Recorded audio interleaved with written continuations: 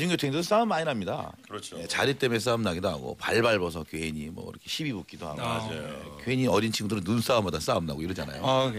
예, 어린 나이 때는. 근데 솔직히 저도 G.O.D 그러니까 G.O.D 사무실이 양재동에 있었고요. 예. 그리고 제가 사는 곳이 일산에 있었어요. 근데 어, 저는 멀다. 혼자 학생이라서 학교를 매일 등하교를 해가지고 지하철을 타고 항상 양재동까지 왔었거든요. 학교가 끝나면 어. 연습하러 그러면은 한 1 시간 40분 뭐 이렇게 걸리거든요.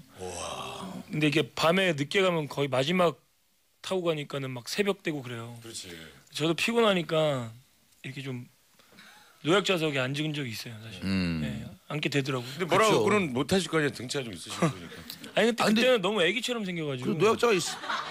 등치는 100, 190이 넘어가고 너무 애기 같은 거야. 근데 노약자가 타시면 일어나고 자리 양보하고 그랬을 거 아니에요. 피곤해갖고 잤다는 거지. 근데 한 번 자는 척 한 적 있어요. 어, 자는 자 솔직히 그런 적 네. 없는 피곤하면. 있을 수 있어요. 너무 힘들어서.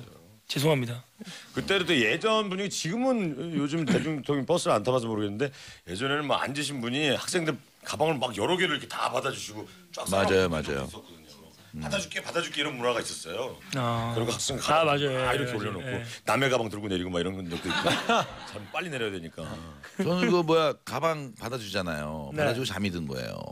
근데 그 내리는 분이 가방을 이게 내려야 되는 가방을 뺏어가는 줄 알고 와와 막 이런 적.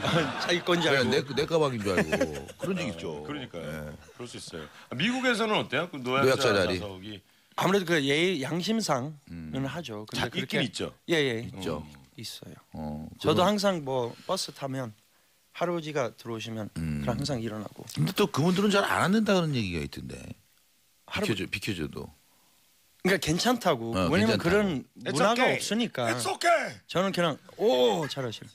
저는 그냥 양심상 아, 네. 일어나. 그러면 자기는 어떻게 보면 자존심이 상한다. 어, 그러니까. 이런 늙어 이런 보이고. 왜 나를 늙게 생각을 그렇죠. 하냐. 뭐 이런. 어, 그래요. 버스가 좋아요, 지하철이 좋아요? 그 뭔 질문이 그래? 지하철이 더 낫지 않아요? 왜요? 지하로 가니까. 예. 안 막히니까. 절대적으로 안 막히니까. 시간이 예. 맞아, 지하철이 그건 있어요, 그죠? 절대로 막히지 않잖아요.